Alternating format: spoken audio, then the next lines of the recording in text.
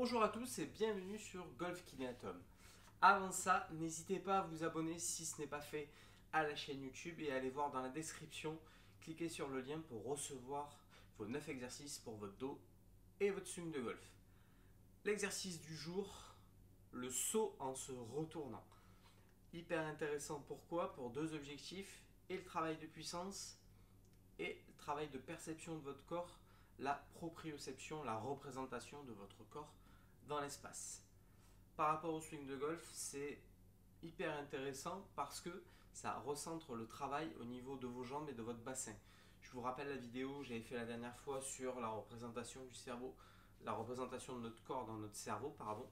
Et on a vu que euh, ben, les mains, c'était hyper important. Et malheureusement au golf, il faut jouer avec le bas du corps et que le haut, c'est juste pour lancer. Donc, cet exercice, il va se faire en deux temps. il va y avoir un élan et une impulsion. Il peut se faire de plusieurs manières possibles, amplitude, intensité, qu'il va falloir adapter à chacun. Cet exercice peut être faisable pour tout le monde. Quelqu'un qui a de gros problèmes de genoux, ben, il va tout simplement, là ici, soulever un seul pied. Donc là ici, je vous remontre. Là, et on soulève un seul pied. C'est déjà bien. C'est mieux que de rien faire. Après, on va augmenter, là ici, et on va sauter tranquillement. De ça, encore deux, euh, deux augmentations possibles. Et l'amplitude et l'intensité que l'on va y mettre. Au golf, il n'y a pas beaucoup d'amplitude, beaucoup d'intensité. Donc on va faire un élan, hop, et on tourne rapidement. Petite amplitude, grosse intensité.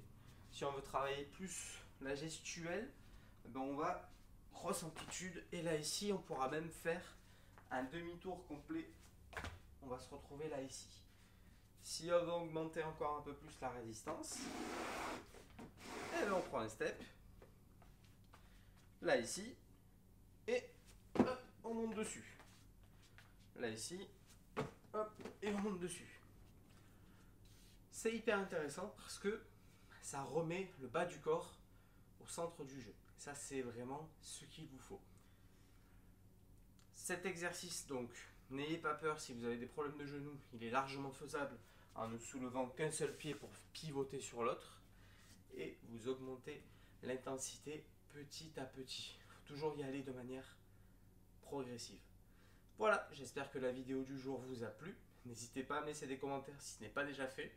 Et je vous dis à très vite et passez une très bonne journée.